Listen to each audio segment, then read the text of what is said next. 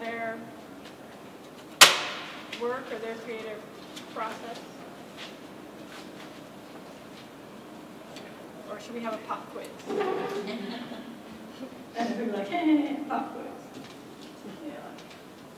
I don't know, what's a, what is it, what's a question for pop quiz?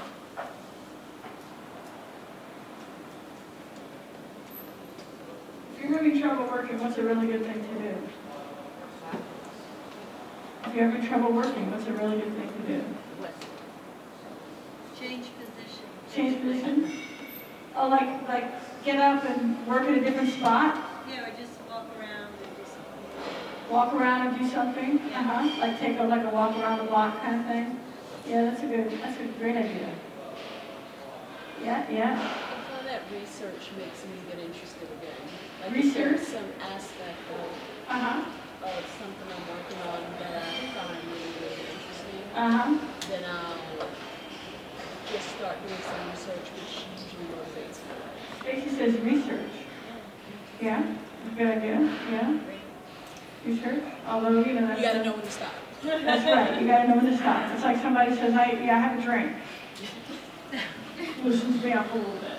Right, and, right. So, yeah, you have to know when to stop. Research is a, is a bit of a rabbit hole, as is anything. You could walk around the block and never come back.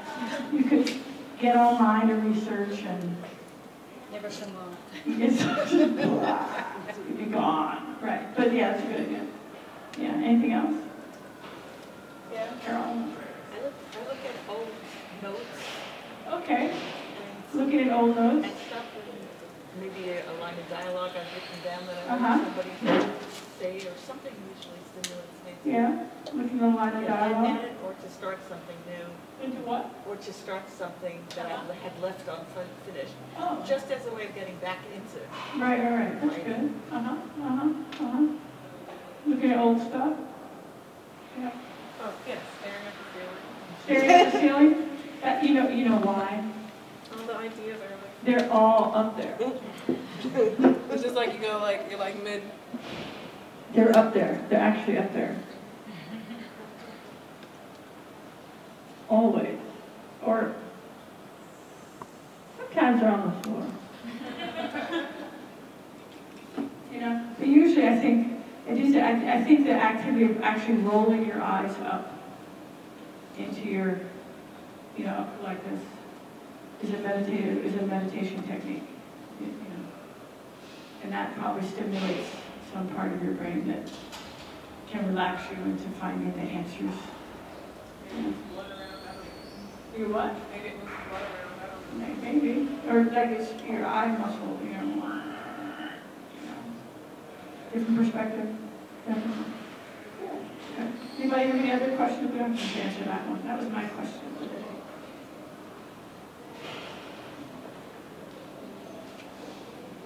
Oh, Yeah, hi. um, when you have to switch between projects, Right, how do you get back into the project that you set aside? right. Oh, that's good. That's good. Um, so you have to switch between projects. So you say you're writing a, like a movie and a, another movie or whatever, movie and a play, we'll say, right? For example, does that make sense?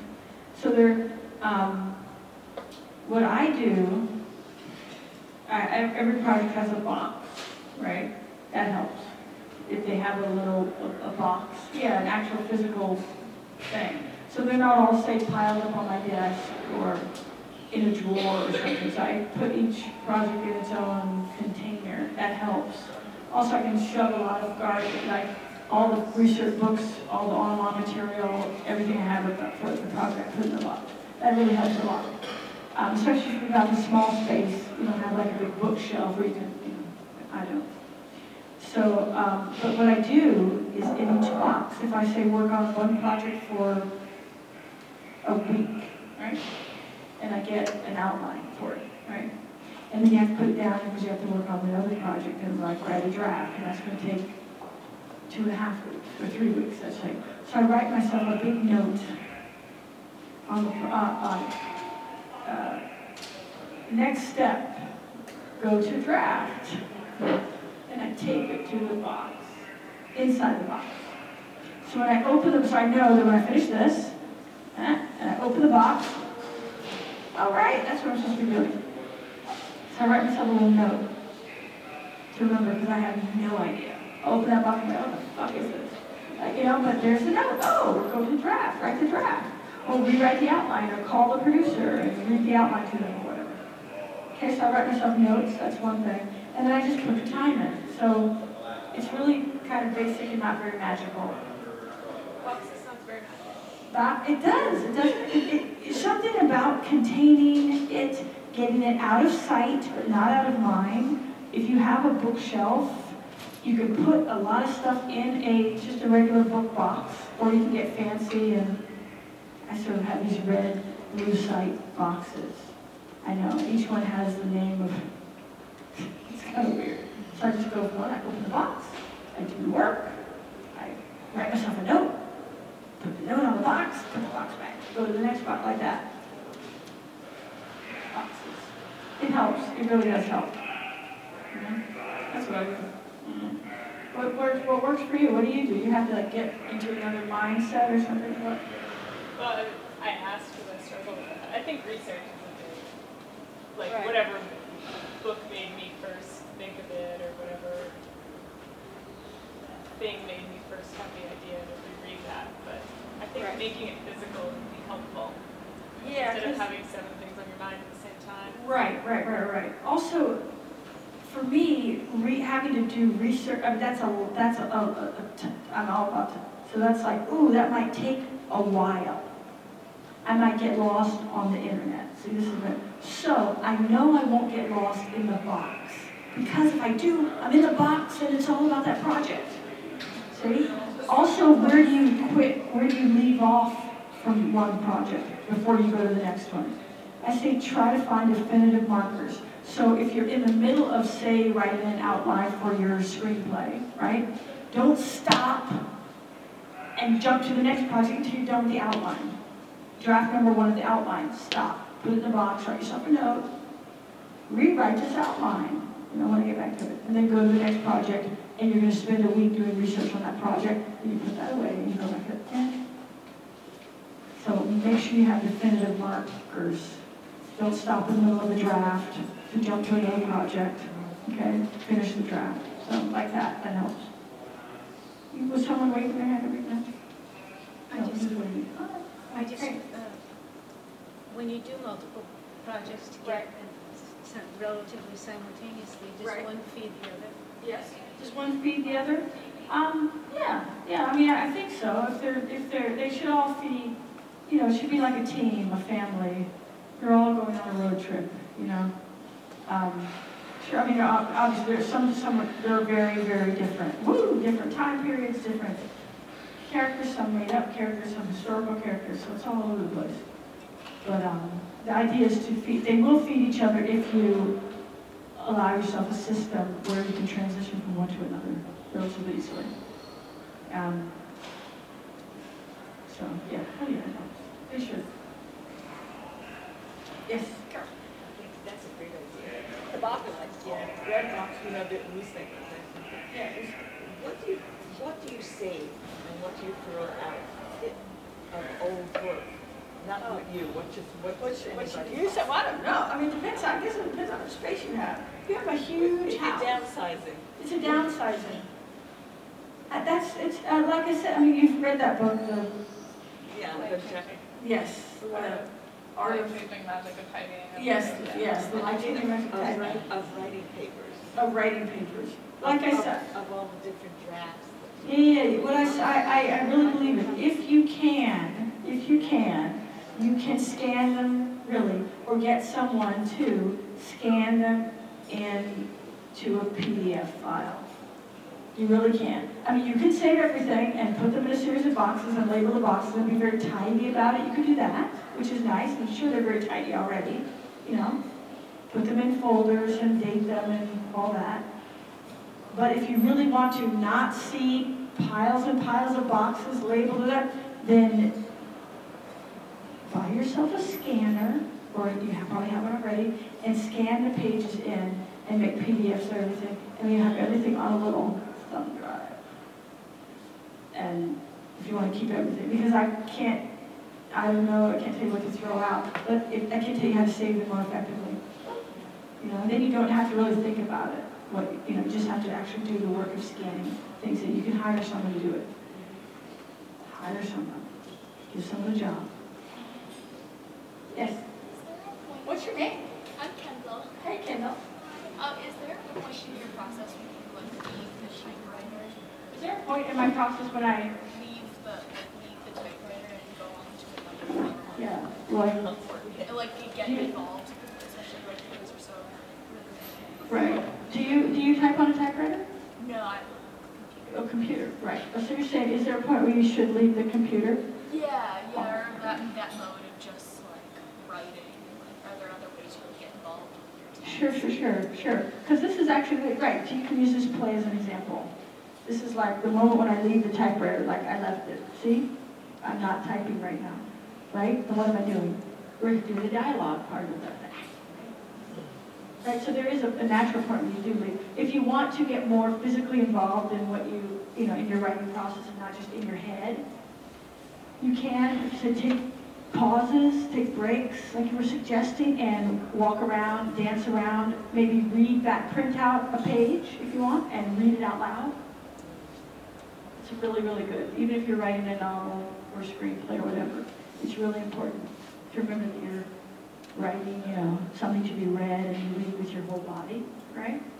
Um, When I say get, I mean, don't use it as a diversion, you know, again, you know, you want to, oh, I now I have to read it. Oh, I, I like to get to the end of things, you know, but sometimes my guy's there and I'm like, hey, let me read you what I just wrote. And he's like, okay. And I'm like, "Blah, blah, blah, blah, blah." You know, so, you know, but I try to get to the end, the end of a scene, the end of a chapter, you know. So why do you, why do you, why do you ask what are you're working on? Uh, I'm just curious. I'm working on a, a play. Um, it's about um, a woman in a type of Uh-huh. a Japanese period. So, wi- Like, are you almost finished with it, or you? are you- I'm no, I'm taking it scene by scene. I think I just kind of figured out what the play is more about yesterday working Okay. on it. Um, but so I'm kind of like now that I'm there, I need to like go back and like put in the necessary.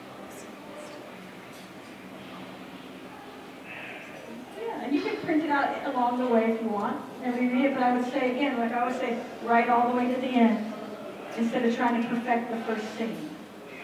Because that's another rabbit hole, you know, or a gopher hole, prairie dog.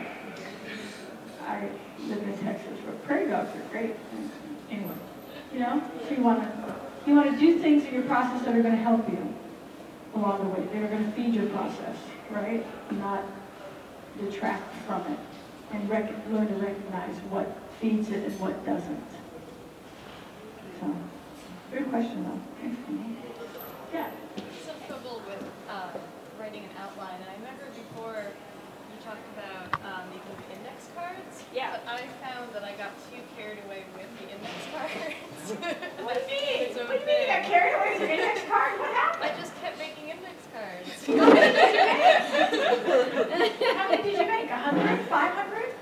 yeah, probably. 500 No, no, no, maybe like I don't know, sixty or seventy index cards. That's a problem? Why was that a problem? Sixty or seventy index cards for outlining a what? A novel, a play? or- Play, yeah. It felt I got overwhelmed by it. Oh, you know, I see, I see. Yeah. Because you only wanted to have, how many did you want to have? Ten? Great, Yeah. perfect. So, guess what I'm gonna say? So, Yeah. Take ten index cards and fit it on ten. Really, fit it on ten. Because it's like, oh look, I can do like a million steps before I get to you. It's great, right? A million. But if I only want to take like five, right? Just fucking take five. Right. Take ten. Take only ten. All you do is say, so what are you going to have to see though on your index cards? Not all the little brilliant things that you're seeing of your play or your movie, right? You're going to see scene one, scene two, scene three. I can't jump on the table, but right? Yeah. Four, five, ten, boom. So you're going to see the big chunks of action. Right, So you're going to use the, that courage to, I know all that's there, I'm just gonna see the big chunks because all I wanna be looking at are ten minutes cards. right, right. So there you go. Yeah, would so easy. Yeah, so you can start with, what- so what's your first index card gonna be? Starts with a B, beginning, right? Right, right. And your last is gonna be the, good, good, good. So that's two, so you got eight more, okay? right. So then, mm, middle, middle. So that's three, so you got seven more. Yeah, So then kind of between the beginning and the middle, you've got, that's where it gets a little fuzzy. but just, just fucking throw one in there. Boom! I know that happens. I know there's like a car chase up a mountain, Right, right. right? Okay.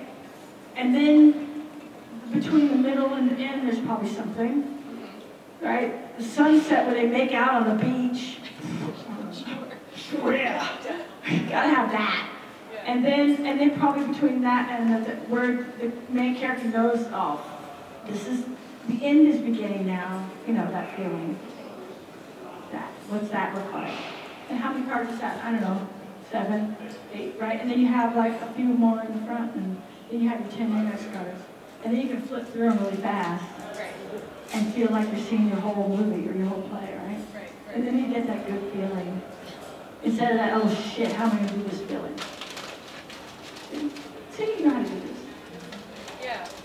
I don't know why it's instead of go, we'll go, oh, I can just make one more index card. I'll just make another index card. Right. No, no. Yeah. Beginning, end, Right, and then get eight more. right. So it's a discipline thing. You're gonna be, you know what I mean? Yeah. It's like, it's like, do you like to eat, I don't know, what do you like to eat? French fries? Okay, so you could eat a million french fries. Or you could eat like just a plateful or a serving, right? Okay, so you know how to do this. Okay. It's a good question. Oh, it's a great question. I just make fun, I can make it like a joke, like it's easy, but it's actually not. It's really hard, and it's a really good question, so. Okay. In the topic of outlines, Yes. Melania wanted to Oh, tell hey, you. Melania from Florida. Yeah, she wanted to tell you um, that with the advice you gave her, she was able to outline her play. Wow. She was encouraged by your words. So thank Thank you. Melania. I know, I, I, uh, I won't make a joke about your name again, but thank you so much. So Melania, she wrote us uh, a couple of weeks ago, and we were talking about outlines, and she outlined, and now you have to take a breath, and you have to just dive in, and you have to write your play, if that's what you want to do. That's the next step. What? It's, a, it's, easy. it's like, and you don't worry about it not being like perfect right off the bat. It can be shitty. We can have a let's write the shittiest draft, first draft competition.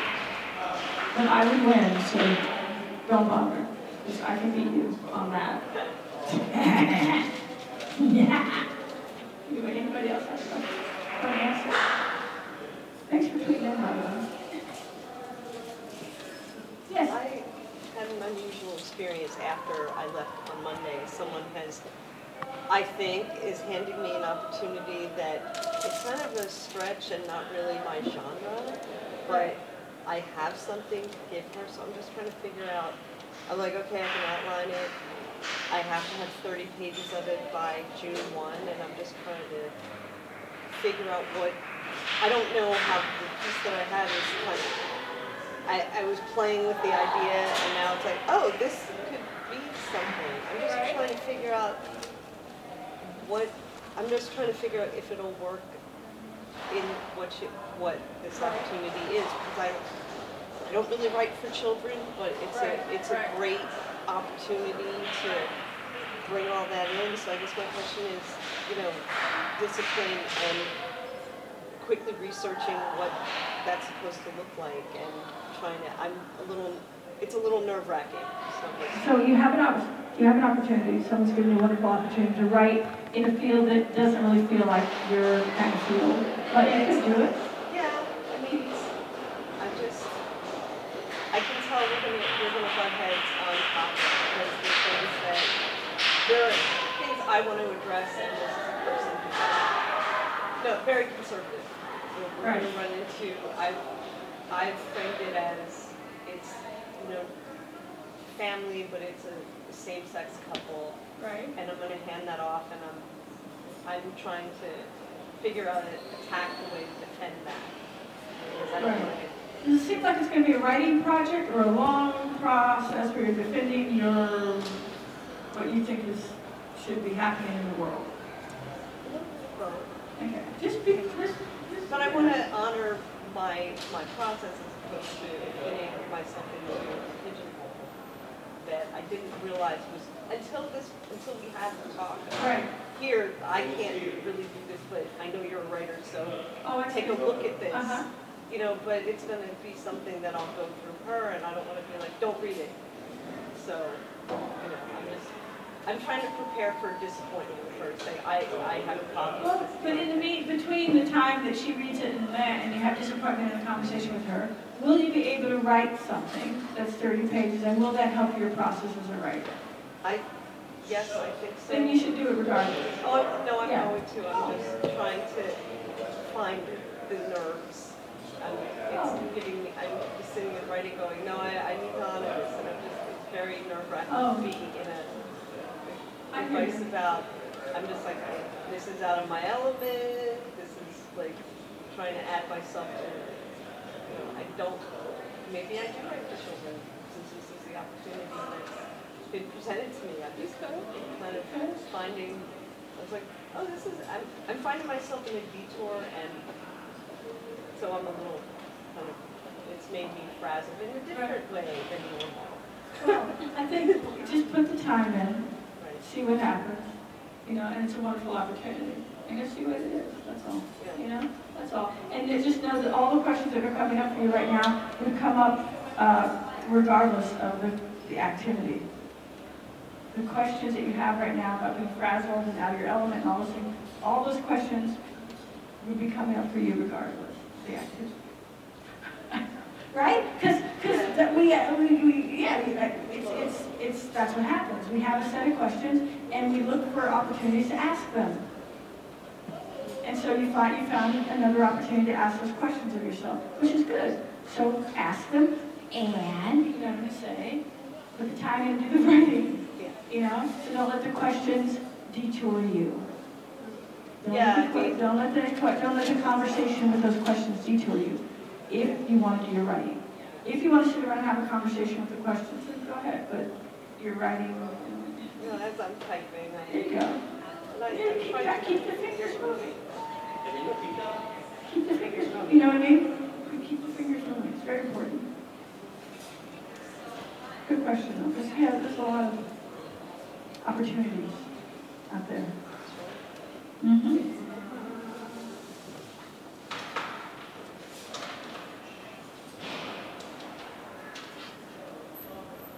Yes, hi. Well, this is just, um, you, you said this is the book you all read, but I didn't. Uh, and, and I didn't get the title, what was Oh, the title? what was I talking The magic of timing. Oh, the ma, oh, yeah, the magic, what is it called? The called? life-changing magic art of tidying up, something in that vein. is it I'll, called? There you go, you can Google it, Kendall. Great. It, it's a book about clearing clutter from your house. Oh, okay. okay. Yeah, yeah, yeah, it's one of those books. Uh, It's very, I mean, I, I didn't really read it, I read like the first chapter and went like, right. Yeah. And, you know, but it's okay. It's The life-changing magic of tidying up. The life-changing magic of tidying up, which is they supposed to be a brilliant book. can listen It's supposed to be a wonderful book. Oh, yeah. And you can what? They have an audio book, so you can listen to it in vacuum. You can listen to it and vacuum, which is brilliant, Stacy. Okay? Yes. What's it called again? A magical, yes. life-changing magic of tidying up. This is in no way, uh, this is in no way an endorsement of the. Except we do, yeah, I mean, it's people read it and, And tidy up. yeah. But I would say, don't read the book, do your writing instead. Don't look for, yeah, now I'll spend the, rest of 2017 tidying. Because that's what I should be doing because I'm such a slob. Great. No, no, no, no. three point eight No, so- But yes, it's a tidy, it's a book about tidying. Cleaning. You go with Goodreads. Yes. tricks for getting yourself to commit to like one idea if you're like starting 10,000 different things Yes. have Yes. you like, Yes, do you have a, a Yes. I don't know, something you yes, do I that do, helps I do. you? I do, I have a lot of tricks. I love when people ask me for tricks, because I have so many tricks for things. I know Alexis is like laughing, but I do have a lot of tricks. Um, so, and usually my tricks all uh, stem out of this one wonderful topic. Have you ever been on a date? Great, okay. Have you ever uh, dated, uh, you know, not like at the same time, but at the same time two people? Uh, yeah, I mean, I guess, I guess. Yeah, yeah, right, okay, great. And then you, did you ever come to the moment where you decided like, I'd rather be with them than them? Um, Same thing. yeah, yeah. It's the same thing. So that's how you decide. you just decide. You know, you know, you're working on a lot of your projects, right? And, and if they're all sort of equally maybes, i.e., you know, Steven Spielberg hasn't come you and said, I want you to write this, and the other one's says something you were planning to do three years ago, and so that those aren't weighted equally, right? So that maybe they're all equal, like you have six ideas written down in your notebook. How do you do it? You could, it depends on what they are, okay? If they are um, songs, for example, you could spend a whole day sitting in your apartment and work on each one of them for an hour. Which is what I do, which is really fun. And you get a lot of growth on each one of them. But that's a short, a very short form, right? If they are uh, plays or whatever, you just go through the list and say, which one is going to make me the happiest? Which one do I think about when I'm not thinking about the others? Right? You could sort of think about one for 15 minutes and then think about another one. Which one is going to be the most fun? You know? Which one? I, I want to do something quickly. Which one can I do quickly? And then I'd like to do something that might take six months. Which one might be that? You know, so you have different criteria. Um, you, see, you see what I'm saying? You're looking at I know. Does that make sense? You, you have you have some that are that are, are they different weights? Are the different sizes? Are the different? Yeah, like impose some kind of structure to help you decide kind of thing. Well, you could say like, which one makes me laugh? Yeah. I, oh, every time I think about that one, I laugh. Do I want to laugh? Yeah, I want a good laugh. I'll work on that one. I'll give myself a month and see where it goes. Then I'll turn to the one that I want a really good political, you know, fist in the air kind of thing. That one, yeah, that's the one. I'm going to work on that one for a month next. Or I really want to do that one now. And then I'm going to do the funny one later. You see, you see me? It's just kind of what mood you want to be in. It's, it's, does that make sense? Does that make? Yeah.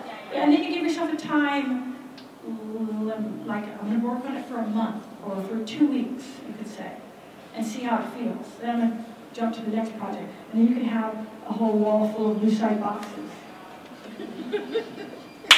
That's, what, that's what happens. You have a whole wall full of IKEA. They sell these Lucite. I have, I have a whole wall. Marshalls? Michael's. Michael's. Ideas box. Okay, ideas boxes, yeah, we have boxes. And that's a, a nice thing too, once you start getting them going, you can have boxes for each one, which is very helpful when you come back to it. It's very helpful, yeah. Do we have time for like one more question? Oh, like one more question, like one more question. Um, oh, sorry, you have one. Oh, oh no, I was just smiling. Because She's just smiling. Oh, beaming. Oh, okay. Um, I have a question. Um, um, I, I wrote a play which uh, was more sort of geared towards um, adults. Right.